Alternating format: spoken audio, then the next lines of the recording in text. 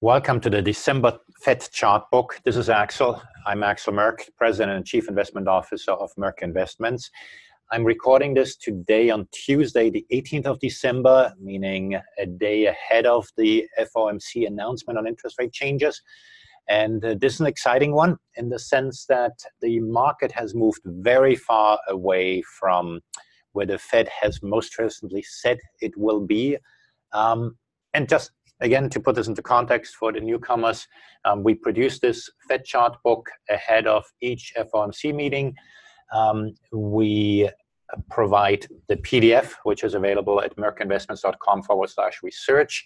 Then Nick, our senior analyst who produces these chart books, gives his analysis. I give more in between the lines reading. So please do look up those as well. I believe they're quite complementary if you want to get a more holistic view. The reason we do this, of course, is because um, the Fed gives the benchmark, so to speak, of the risk-free asset. Things around it get priced. Um, I've argued for a long time that the main thing QE achieved, quantitative easing achieved, was a compression of risk premia. That means there was a perception things weren't risky anymore. Obviously, they were still risky, as we are moving away from QE to quantitative tightening, risk premia rising, that means volatility is rising, so the increased volatility in market is completely natural. Now, that said, um, the question is, of course, uh, what does it mean in the short term? You can trade interest rates as well. We do some of that at Merk. Um, if you want to learn how to do that um, and take positions on those, we, we can help you. The blue lines, the blue text down there is analysis by Nick. My views may differ from, from those that he is indicating. Um, so let's maybe start out with here with the, the longer run rate, the neutral rate. Um, where does the Fed want to end up? Um, at some point, a few weeks ago, Fed Chair Powell was quoted, and in my view, misquoted, indicating that, oh, we're reaching the bound um, of what's going to be neutral. He didn't exactly say that. If you parse the words carefully, he indicated in his speech, we're reaching the lower end of what some consider the neutral rate, not what the Fed considers, but what some consider, some analysts, some economists. Um, he had also indicated previously that the Fed may well have to go beyond neutral. Keep in mind, according to the Fed's view, they still have the foot on the accelerator. And the question is whether that is appropriate or not. Now, clearly, this is all in the backdrop of the market suggesting that the Fed may almost be done. Indeed, as we're talking, um, there, there's a rate hike quite priced in, um, very, very likely um, for Wednesday. Um, keep in mind, by the way, in this context, that historically the central bank does not like to surprise the market. Historically, might be an overstatement. Re- recent Fed chairs haven't wanted to um, surprise the market. And so, if Powell did not want to hike rates. Um, it's kind of too late to not surprise the market. Um, that said, um, here I'm, I'm, forwarding here through a few charts. You can study them more offline. I want to make some broader points here. Um, most notably here, maybe if we pause here on the Fed rate expectations in a year, this is what at, at any point in time, or since uh, beginning of this chart, end of 2012, what was the Fed pricing in? And as you can see, as of early October, um, Fed rate expectations have been coming down quite substantially so. And maybe if you can put this into context, why is it that the Fed is hiking rates? Well, the Fed sets interest rates to pursue its mandates, which means maximum sustainable employment and keeping inflation near its target of around 2% in reverse order, maybe that should be, although that's that's not always uh, perfectly clear. Um, but of course, if you put in the context what I said earlier of of risk premium, the whole point of hiking rates is to tighten financial conditions. And if you remember Yellen talking about, oh, quantitative tightening is like watching paint dry on a wall. Well, that's BS, of course, because um, the whole point that, that was because they were spooked about can we get away from this um, from this QE. That's why they wanted to make sure the markets are as, as peaceful as possible. But in an in an era where it might be warranted to tighten, well, that's the whole point of tightening, right? Um, and so let's keep that in mind. And the question is, have they achieved what they want to achieve? And Powell has been talking about waiting in a in a, in a kind of dark room and, and feeling your, your way around here. Um, 2017 was the first year where rate hikes priced in the beginning of the year were higher than at the end of the year. 2018 is shaping out to be the same. So um, this is the combined Fed rate hikes. If you combine all the rate hikes we've had year to date plus the ones expected for for next year, how many percent are we going to be higher? Now, four rate hikes of 25 basis points um, would be 1%. So if we have another rate increase um, now, um, this is versus what was priced in the beginning of the year. We're not going to price in much more for next year. And indeed, to sorry for the confusion here a little bit, we're currently pricing in about a 60% chance or so of another rate hike um, early next year. And I'm rounding some numbers here, depends a little bit on how, how you look at them. Still, um, versus the beginning of the year, we think it's more hawkish. Now, the question is, what's going to happen next year? My view is, and if anything, it's been reinforced by the recent activity, um, that 2019 is going to shape out again as a year where more rate hikes are being priced in at the um, end of the year versus the beginning of the year. Um, for that year. And that's not too difficult if you get one rate hike right now for 2019. I would be correct with that statement. Let's look about inflation. It kind of seems all right. Um, headline inflation um, at 2%, core inflation under 2%. Um, market-based inflation expectations have been coming down quite significantly, and that's kind of been going in parallel with um, uh, with uh, the expectation the Fed is going to hike less. Now, keep in mind the Fed tends to look more at survey-based one. That's when you survey a bunch of economists, partially because the market-based ones can get distorted quite a bit. Indeed, they are very highly correlated to the price of oil. Uh, the price of oil is obviously a factor that the Fed looks at, but it's not driving um, Fed policy as much as, as some of these numbers would make it. And, and basically the, the, the break-even rate here, that's the difference between the, um, the, the, the, the 10-year um, treasuries and, and the tips.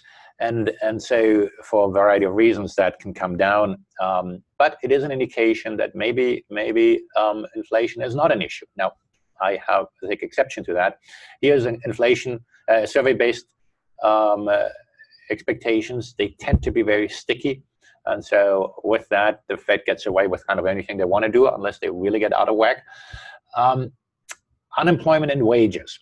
And I like you to look at unemployment rate as a gray line. Um, so that's been coming down, obviously. The one thing that's been going up is wages. And uh, we are, if you look here on the very right-hand side, we are finally seeing some wage inflation. And if you're at the Fed, you should care much more about wage inflation than you should care about the stock market. Um, and this gets me back to what the point of tightening is. The point, uh, the point of hiking rates is to tighten. And so, sure, we had hiccups in emerging markets. Now we have hiccups in the stock market. Clearly, an indication that we're moving towards having tightening have an effect um, where it matters, which is where credit flows through the economy. Federal Reserve is about credit, the transmission channel. Um, and we've had talk about, well, how is access to credit happening? And I'll, I'll show you some charts here um, in, in, a minute. But first here, unemployment keeps coming down. Um, job gains have continued to be nice. I mean, obviously, there's a there's noise in the data. Things are coming down, um, and I'm not questioning that there's some global slowdown fears out there and the market may be forward looking. But one of the things you want to keep in mind, the Fed is looking at the same data as we do. And I'm not specifically saying that exactly the charts you have in front of you, um, although um, some of the charts we show you are the ones that Fed officials have used, or at least in the speeches they have used, reference it in a way that encouraged us to duplicate those charts. Um, if you look at somebody like Greenspan, he used to talk much more about the wealth effect and might be concerned about the stock market. Um, Powell hasn't done that, and so we'll we'll we'll have to see. Um, JOLTS report, a Yellen favorite, People are looking for jobs. Um, quits rate is, is reasonably high. Um, labor force participation rate. Um, this is this is the prime age labor uh, prime age labor uh, force participation rate, where are people able to come from the sideline into the job market? How much slack is there? And um, depending on how you look at these, you might still have slack, but you just don't know how much slack there is because the unemployment rate, the U3 rate that that talked about, those are just people looking for jobs. And then we got these some other rates that you saw in the previous charts where you have people who would like to get more work. Um, let me see whether I can make it to the next chart. Apologies for that. Let me just see whether I find my chart here again. Here we go. I don't know whether it just lost sight of that. Anyway, um, most important, the financial conditions. I've mentioned this now a few times. Um, the Fed cares about transmission channel, cares about availability of credit. Yes, and the gray line moving higher in the context of rates moving higher suggests that financial conditions are tightening, but nothing close to what we've seen here in 2007, for example, or in, in other economic cycles. Now, that said, they could deteriorate substantially pretty fast. So think about a downgrade of uh, corporate credit in a, in a broad wave. There is a lot of debt sitting at the low end of the investment grade sector. If we get a downgrade, some people are suggesting the high yield sector, the junk sector, um, could get overwhelmed. And so, um, if so, we could see a spike. Now, this is, goes back to how much should you worry about wages? How much should you worry about this? How much luck should you have in waiting? Um, keep in mind, if you wait too long worrying about wage inflation, you might have to then tighten much further down the road. Quantitative tightening. Um, the Fed balance sheet has been coming down. Have to think about it also in the global context. We've reached peak global balance sheet, so to speak. Uh, European Central Bank has confirmed they're stopping to buy at the end of this month. The uh, Bank of Japan is is not buying very much. And so there was a editorial in the Wall Street Journal by Druckenmiller and and uh, and Kevin Warsh, Kevin Warsh, a former Fed governor, and uh, indicating that um, because global central banks are reducing liquidity as far as the balance sheets are concerned, the Fed should pause here. Um, so that's a viewpoint out there. Dollar has been moving higher. There's been increasing chatter about that maybe not continuing. Um, I'm not going to give a prediction here. The only thing I'd like to mention is that um, a few days ago it was pointed out by some people that the European Central Bank is actually um, scheduled to be more hawkish now.